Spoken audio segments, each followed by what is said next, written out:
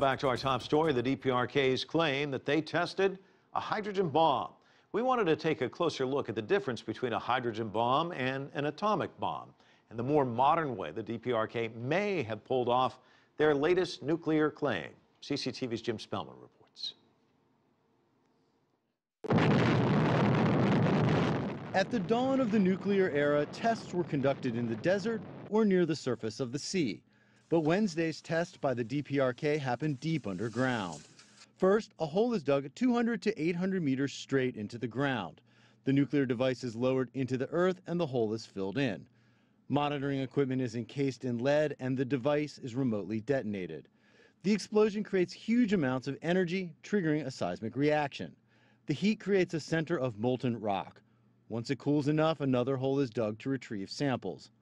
Japan has deployed planes to monitor the air near the test site, but little radiation is expected to escape to the atmosphere, making it difficult to determine exactly what happened. A hydrogen bomb is far more powerful than a simple atomic bomb.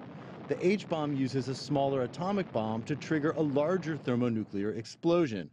So a failed H-bomb test may look similar to an A-bomb test. The reported size of the detonation is relatively modest, it's comparable to the test that North Korea carried out in 2013, which I think has led many experts to assume that this is, in fact, probably a much cruder device rather than a fully fledged hydrogen bomb. To use a nuclear weapon, it must be miniaturized into a warhead, then delivered to a target. In World War II, the U.S. dropped atomic bombs on Japan using airplanes. A more likely delivery system for the DPRK would be a missile. The DPRK's longer range missiles could potentially hit much of India and Russia and even parts of the U.S. state of Alaska, while Seoul, Tokyo, and Beijing are all in fairly easy range.